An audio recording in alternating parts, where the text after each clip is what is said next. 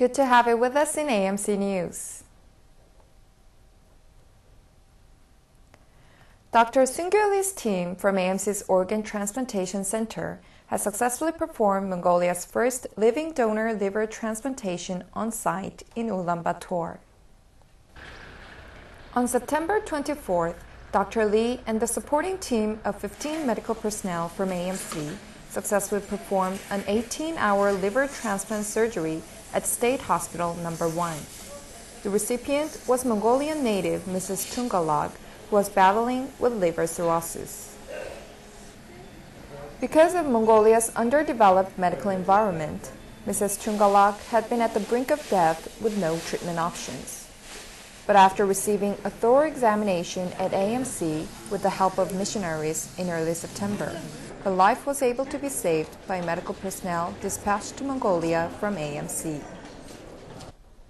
Dr. Sung-Gyu Lee, the surgeon who has successfully performed the surgery, remarked on its significance in light of Korea's own history, saying just as Korean medicine was able to reach a world class level through support from the West when Korea was poor, now it is Korea's turn to carry out medical technology transfer with countries in need. The surgery is planned after the Mongolian government requested technology transfer in this field to AMC's world class organ transplantation team.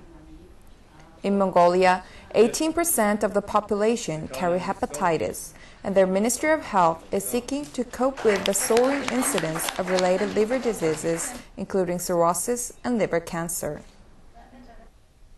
AMC's organ transplantation team has reached a world record number of living donor liver transplantations and is the only hospital in the world to have surpassed 300 liver transplants annually for four years in a row. To help support the establishment of a self sufficient liver transplantation system in Mongolia, AMC has provided surgical equipment, facilities, and training valued at 400 million won. Plans have been made to jointly perform four more living donor liver transplants alongside Mongolian surgeons in October and November this year.